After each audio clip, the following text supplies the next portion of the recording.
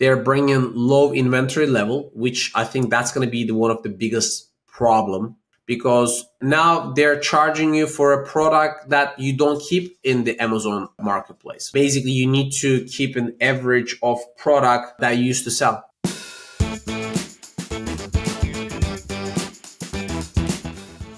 All right. Hello, I'm your host, Ben, and welcome back to another episode of season two of the Amazon Strategist Show, the show that is all strategy with no hacks, no silver bullets, and no magic pills. Just real practical strategy for serious Amazon sellers.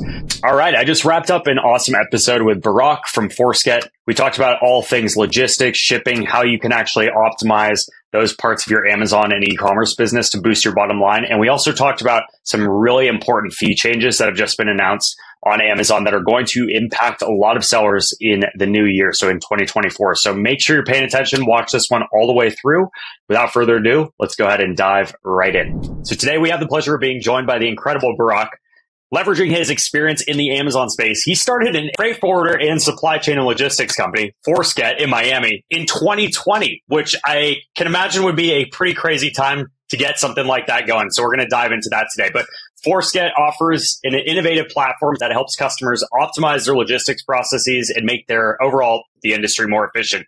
Under his leadership, the company's tripled in size. Wow, that's impressive. In the past two years by expanding its customer and partner network. Thank you. Welcome to the show, Burak. Uh, we appreciate you coming on today and taking the time. And I think you, now you guys are headquartered in Miami, but you've also got operations in China, Turkey, Colombia. Where else? I know you were mentioning you have some uh, late and early calls right before we got started. Also, we also have our own 3PL in Los Angeles. You know, uh, 40% of the import to United United States, it's going through Long Beach and Los Angeles port. So it's a very important distribution center. Majority of Amazon FBA centers and now AWD, you know, uh, Amazon warehouse distribution centers are in California. So it's a very important place for brands to, you know, expand, fulfill. Like we have a location there and we also have a sales team in Chicago. So we're expanding. That's awesome. Just to kind of take it back to kind of the start. So before you started Forceget, how did you actually kind of get into this whole e-commerce or Amazon world? If you could kind of run through that for us real quick. Um, you know, I finished my bachelor degree in, in Istanbul, Turkey. Then I did my MBA in Paris, France. And that's the time um, I, I kind of knew that I wanted to have international background, international experience. So then I decided to uh, do a six months internship in China. So I decided to move to China in 2012. That back then, you know, we didn't have really smartphones and stuff. Uh, and China had really good economy, uh, a lot of opportunities, a lot of expats. They moved there. And I, my original plan was staying there for six months, but then I ended up staying like seven years. And I started my sourcing business there. And then, yeah, it, it, it was like one of the best. I think it was like a lifetime experience. I'm very happy I did that because the knowledge, the experience, you know, there are two things you can actually buy in the life that one is experience and another is time. So for me, I, I kind of had both of them there. And then I was young, I had nothing to lose. So I kind of started a small sourcing company. I was doing a quality insurance, quality checks in the factories, travel all around China, Asia. It was the best time of my life. No responsibilities, you know, no money, but no responsibilities also uh, back yeah. then but but it was a good experience, you know. And then I started the B two B business in in China. I, I, exported a lot of different products to worldwide, and then my clients asked me if I can help them with international shipments. That's how I kind of get into the international shipping uh, business. And then we started Forceget, and then my sister joined me. That's how we had the this uh, crazy growth actually last three years. Yeah, that's wild. Why why 2020? Why was that the time to start? Was it because you're noticing, hey, everyone's having issues, there's got to be an opportunity here or or was there something else kind of behind that timing? Actually, it was like actually kind of beginning of 2020 2019 and we we had this idea with the Amazon sellers, okay, like why people don't know where their products are. Like, you know, they don't know when the product's going to check in you know, back then, uh, you know, supply chain and international logistics was not this crazy. It was not middle of the entire conversations. Now, especially today, you know, we're going to talk about the FBA fees and other details, but profitability is one of the most important thing. Sustainability, you know, if you're not profitable, in the past, you could lose money, but you could get like really cheap money to support that business and help the growth. But now, because, you know, the, the money is very expensive, interest rates are very high, it's very hard to get line of credit or you cannot really find funding sourcing. We see that with the aggregators you know. So most of them like file in bankruptcy unfortunately. And it was a good time for us to like tell people with the covid time hey look you need to track your shipments. You need to have the control on your supply chain. You need to have control on your landing fees because with the pandemic, everybody was selling a lot of products, but nobody really cared about their cost because the profit was high, the, the demand was there. But now today, since the demand is really low, everybody start worrying about what happens with their cash flow, what happens with their profit, what happens with the turnaround time, which went from three to four months to seven, eight months. So that hurt a lot of businesses, unfortunately. A lot of small e-commerce and Amazon sellers had to exit the business, not successfully. Um, so now the game is all about becoming brand and selling in omni channels, like different marketplaces. Start your own website, like Shopify, Walmart, besides Amazon, or if you're strong in Amazon, using that leverage to expand globally. And Amazon makes that very uh, reachable, very doable for for sellers. Yep, hundred percent. So uh, I was just going to touch on too. I remember it. I think it was in 2020ish. I was still living in Southern California, and so I would drive by the Long Beach um, harbor, you know, fairly often. And I remember watching as like you would see this line of cargo ships just waiting because they would also they were having strikes and like issues with all the other stuff. So yeah, it was a crazy time. But lot to unpack in what you just said. Um, love love your background and story. I think kind of the first thing. Let's let's just dive into it. But this is kind of the hot topic right now. So the fee changes. Um, you know, to be honest, I haven't even dug into these a lot, and so I'm hoping to also be here to learn from you. I've seen the headlines, but to be honest, I see headlines about fees going up on Amazon every year. So what's different about the the fee changes that have just happened? Um, you know, it's most likely like bad news for most of the sellers. I don't want to say negative things, but like right now, I think we are living in the world like every single business trying to survive, including Amazon. There is a huge competition approaching. Like, you know, we talk about like TikTok, we're talking about Temu. There's some like really cheap uh, marketplaces. They're trying to take over Amazon's spot. Walmart.com is extremely active in the events, extremely uh, active in the, you know, offering people, uh, companies like cheaper uh, fees if you know they have like giving back them credits like ppc is much cheaper. Obviously demand is also lower on those marketplaces but they're trying to gain the correct brands and amazon had the problem of having too many brands maybe like they, they had a problem with cheap products unquality products you know most of us like even regular people who buy my friends you know they don't sell on Amazon. They know nothing about Amazon. They don't trust the reviews anymore. They know that it's fake, you know? So I think Amazon has lost a little bit of uh, this, uh, the perfect customer service type of uh, being a marketplace. Uh, they're trying to gain that back. They're trying to make sure that, you know, uh, they're offering good product. They're like delivering the good product. So they don't want people, you know, don't understand the business. So FBA fees changing, affecting a lot uh, especially companies with two things. Number one, they're bringing low inventory level, which I think that's going to be the one of the biggest problem. It sucks because last year today, if you were selling uh, 500 cocktail shakers, and because Amazon increased the FBA fees a lot in 2023, you start working with a 3PL, a warehouse that you could keep most of your inventory and ship it to Amazon partially, small quantities and Amazon would check them in, distribute it. So they becoming more like a fulfillment center. But then now they're charging you for a product that you don't keep in the Amazon uh, marketplace, like FBAs. It's, it's, I think it's like it's very crazy because uh, basically you need to keep an average of product uh, that you used to sell. So basically, you need if you if you ship to Amazon, they're gonna charge you. If you don't ship to Amazon, they still gonna charge you. So what's the sweet point? Um, I think it's going to be very difficult for sellers to understand these break evens uh, because eventually, you know, Amazon just like taking money out of your account. I think everybody needs to really look into their business reports very carefully to see what are the charges and if they don't understand, like you know, they need to open cases with Amazon to get these fees back. And the second thing is the full FC transfers. Like if you are shipping everything one fulfillment center, you know, Amazon distributes to more than 30, 40 locations, they're going to start charging you. So basically, Amazon is encouraging you to ship to multiple locations. And I understand that because, you know, shipping domestically in the United States is very expensive. You know, you know, the truck fees, the gas, oil, spare parts, all the fees are going up.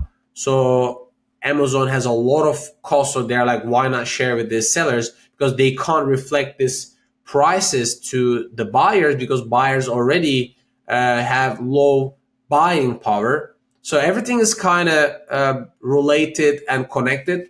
So these are the two things that people should be uh, paying attention the most. Yeah, those are both pretty wild. I mean, just from my time in the, the Amazon space, I feel like they every year you get the emails about the fee changes, and they always have a couple like that are get it going up, and normally wrap it with like, oh, but we're also doing this one fee, like uh, the small and light fee, you know, or, or discount is going to be even better than ever. Um, these ones seem really significant, though. I mean, never before have they had the hey, we're going to charge you if you're not keeping your products in stock, and I personally haven't dug into that, but I'm wondering, you know, in the past, I've had plenty of experiences working with IPI scores and the storage limitations and all that stuff. And also the numbers that Amazon recommends you ship in to stay in stock, which I have not really been the best from my experience. So th- that's definitely a worrisome piece. An interesting thing is in the past, they would tell you, okay, significantly the increase, 10%, 15%, very transparent. It's very easy to understand. The problem now is people don't know really like what does that mean. Like if I they they create an algorithm. If you sell 500 units, if you ship 300 units, you're not going to have 200 units according to Amazon. What will be the charging point? Like, are they going to charge you per cubic feet that you're missing? Are they charging you the lost sales, which you're not actually, you're, you're not out of inventory. You know what I mean? So that's the tricky part. Actually, like one day you're going to wake up, you're expecting to receive $10,000 from Amazon. They're like, boom, they're, they're sending you $6,000. You're like, why? You know, it's people really need to understand their numbers. I think that's going to really stink.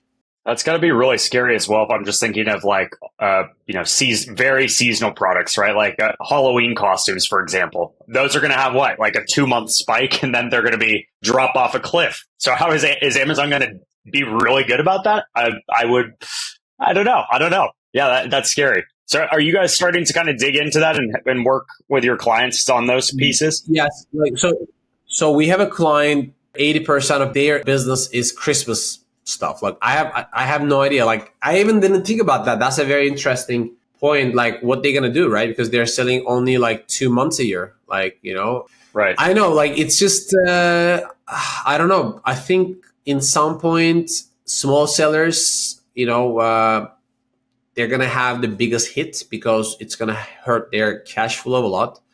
Um, because I know that so many companies they're having problems to pay their suppliers, their vendors, you know, their freight forwarders, 3PLs. They're like, oh, I'm waiting a payment from Amazon. I'm waiting for a payment from Amazon. But like when it's going to actually arrive, and is it the same amount that you're expecting? Uh, this this problem is going to get deeper and deeper. I'm hoping Amazon like is aware of that, but same time, I think what they're thinking is because with the spike of this e-commerce uh, period, like 2020, 2021, uh, they thought that you know everything's going to be the same. Probably they opened up more than 100 new fulfillment centers. Now nobody's shipping to them. They're like oh we have all these fulfillment centers but we, what are we going to do about this? Now they're even becoming more loosen up about the third party drop shipping. Like you know in the past they really didn't like that but now since they have all the facilities all these investments they're like okay you know what? We can also do drop shipping. So i think every day the business model changing. There's like uh, there are more threats for amazon especially uh, you know some of the big players like Temu in the cheap product category apparels you know shoes. Another news on the fba changes amazon is reducing the rate for apparels fba fees. They're reducing the fba fees below $20 product. It's a pretty significant drop when i was looking Yes, you can easily see that Amazon is observing what the competitors are doing. You know, like because Temu is very cheap, like other, so they're losing they're losing uh, money on those business sellers. Don't want to sell on Amazon anymore. People are not ordering those things from Amazon because if you are not Prime member, that you're paying like six seven dollars for domestic shipments in the United States. Like who who wants to do that? versus you can buy a jumper for you know eight dollars, twelve dollars, and you wait for I don't know two weeks, which is okay for people because Prime delivery also takes three to four days.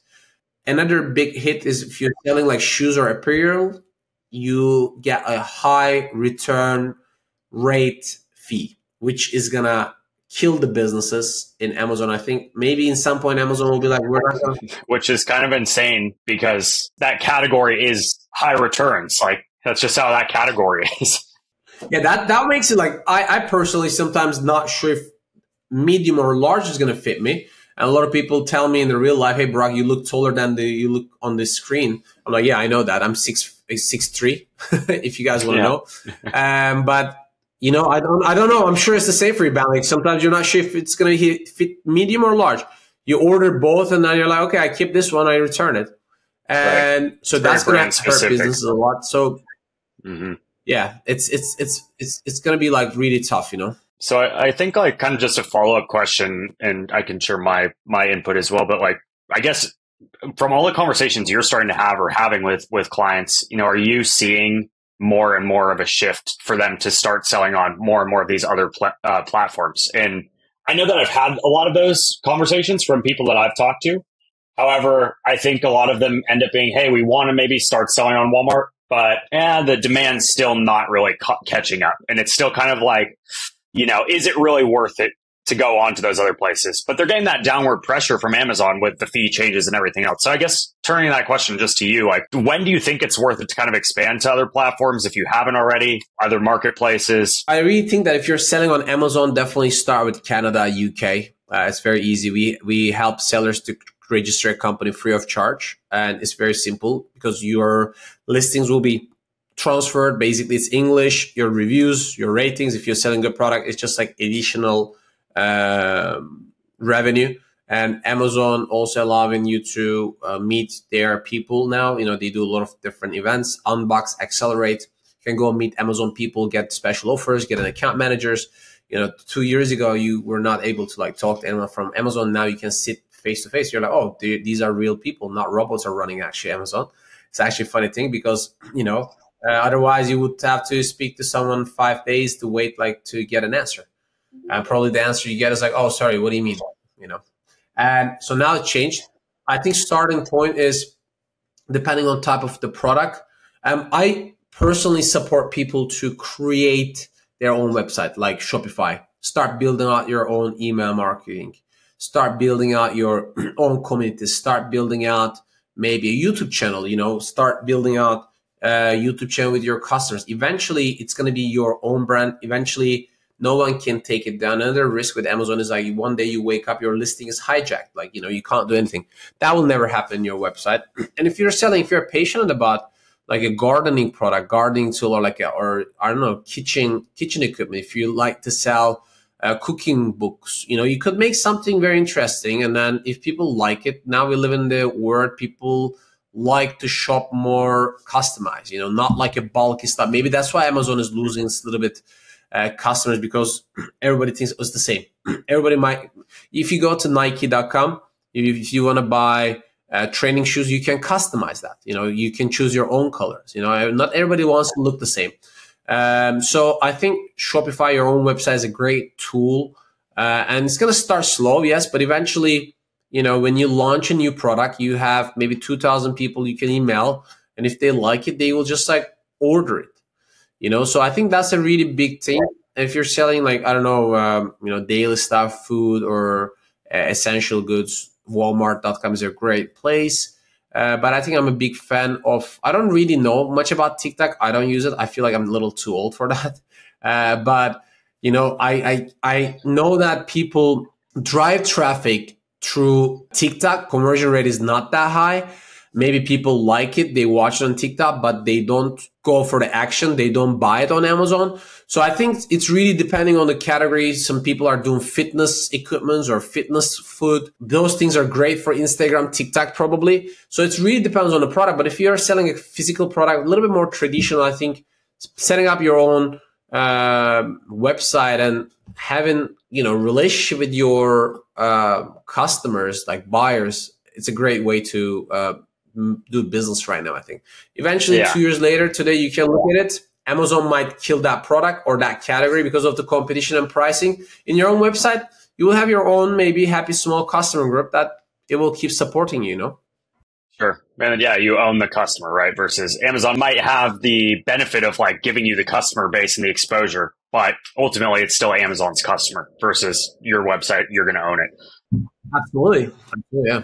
So, Burak, I know you mentioned uh, mentioned as well drop shipping kind of coming back into the scene a little bit. I know last year I talked to a lot of I would say ex drop shippers, a lot of them having issues with their Amazon accounts, and you know I know that that's been the trend. Is it Amazon pushing you, pushing everyone to say, "Hey, do not drop ship," or you have to do it in a very particular way. What's been kind of your take on that changing? I think it's about Amazon. Also, Amazon is very smart. You know, they they predict what is going to happen in the market because when they increase the, I'm sure you know when they increase the uh, FBA rates, they know the result. They know what's going to happen, and that's okay. They kind of actually want to brush off the cheap brands. They want to brush off like individual sellers that not that serious. They receive a lot of returns. I mean, I mean, oh my God, I've been to a, a, a fulfillment center. You see trucks of return packages are like they have even don't know what to do like they're ripped off like broken they need to like sort it out like ship it. It's a lot of work. Labor is very expensive. It's very hard to find quality label. That's the problem with amazon. So you know all these kind of things are creating problem to amazon. Amazon thinks that if they don't stop this it's gonna hurt their business. So i think that's the reason why they're like let's increase the sure return return fee you know and then maybe that seller is going to make it more clear for their buyers to you know have a better sizing measurement. Maybe they will add the ai you know what i mean? So it's like i don't think amazon just woke up one day they're like you know uh, general managers like ceos they're like okay i want to come up with like this new. It's been a problem like years but now they're eating the margins a lot and it's just very very expensive. So i think amazon aware of the competition. And I think in some point, Amazon is going to leave that piece of cake to those companies and they're going to kind of target for a different niche, different type of customers. Maybe yeah. not, you know, the everybody making $150,000 up to $25,000 a year, but maybe they will be like, we're going to be like focusing on 40,000 plus uh, annual income uh, customer target. That's why they're giving a lot of analytics uh, in their website. Now they have this new uh, menu in the dashboard. I can't remember exact the name, but it's about some new analytics like consumer behaviors. You know, they had like a brand analytics, but now they have something even else. Yeah. Yeah, they've definitely given access to uh, sellers on a, a, lot more data points, which has been interesting.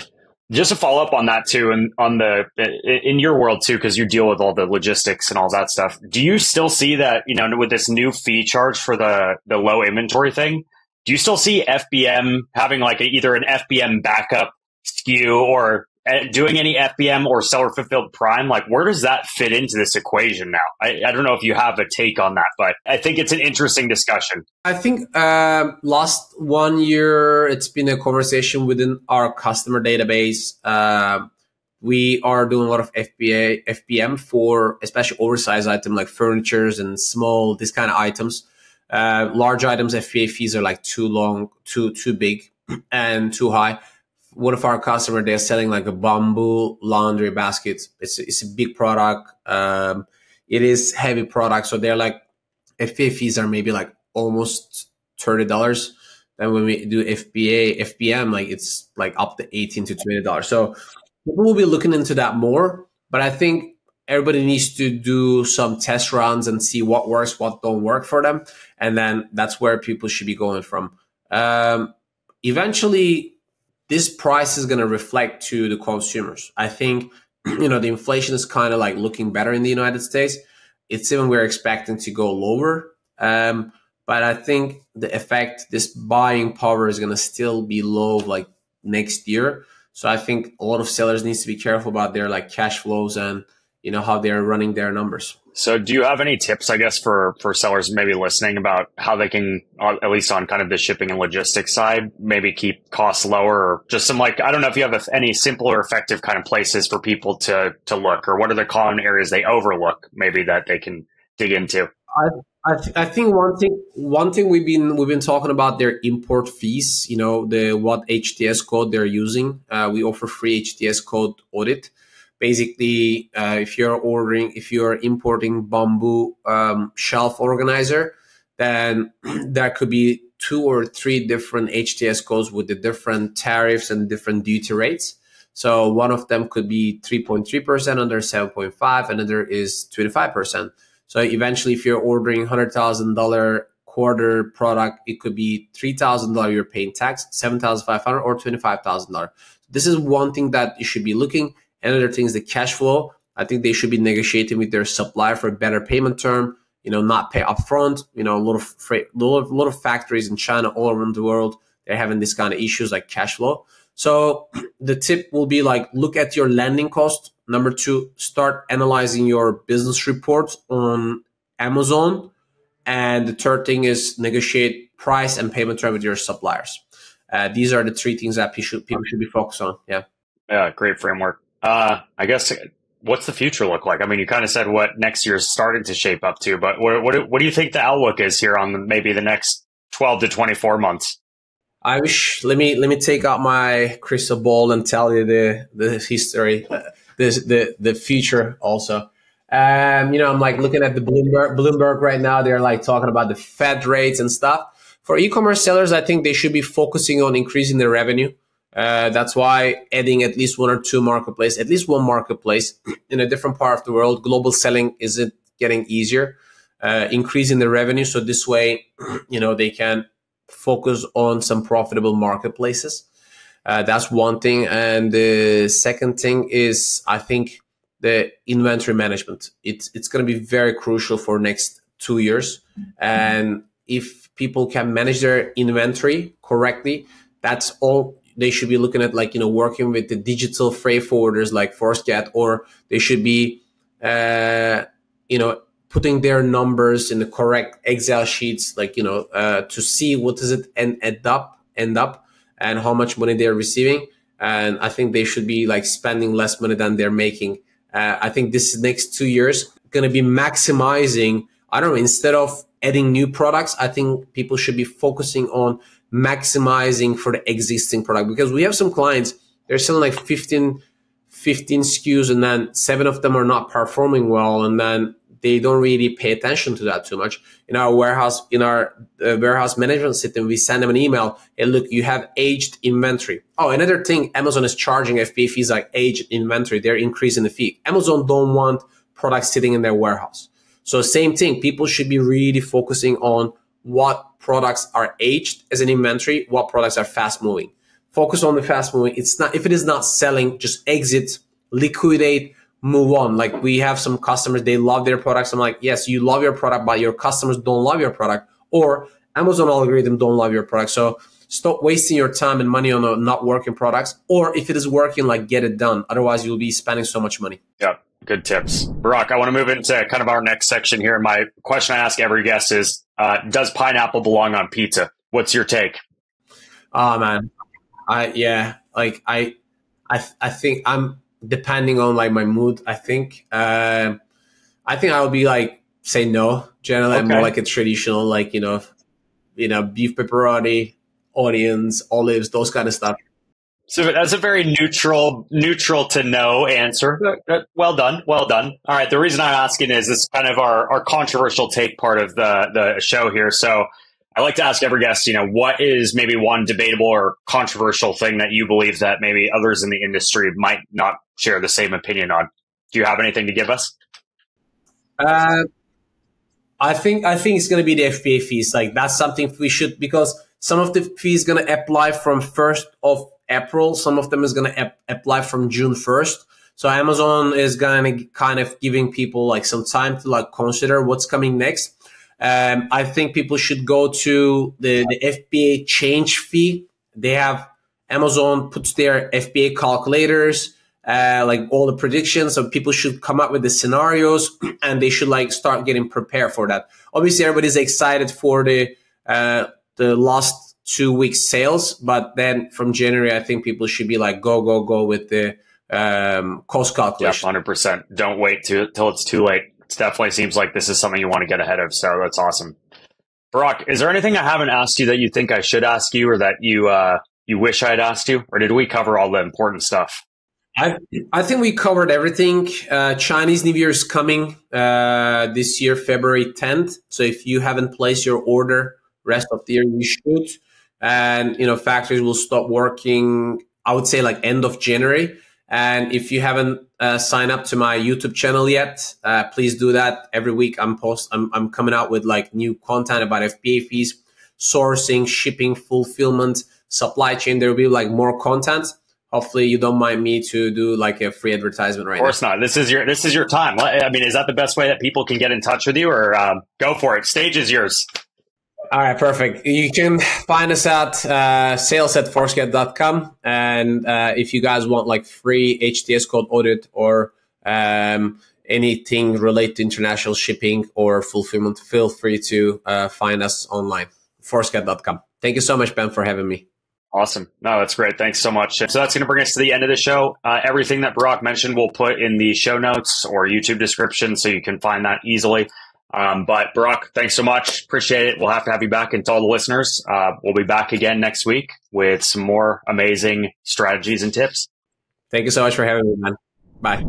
All right, that brings us to the end of this episode. Thanks again to Burak from Forceget for joining us today. We hope you got some kind of insight or strategy. I know that I did. A lot to think about, a lot to unpack from that episode. As always, thanks for tuning in to the Amazon Strategy Show. We really appreciate you being here and spending time with us. If you did find some value in today's discussion, kindly ask you leave us a rating, leave us a review, drop a comment all that stuff does help us reach more people and also improve the show and make it better.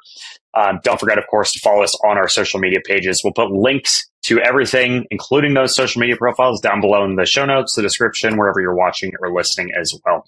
Uh, that's it for today's episode. Be sure to mark your calendars. Join us again. We're going to be back next week for another captivating discussion. We've got some other guests lined up with some other amazing tactics and strategies coming to you. So until then, I'm your host, Ben Smith, signing off and wishing you happy selling.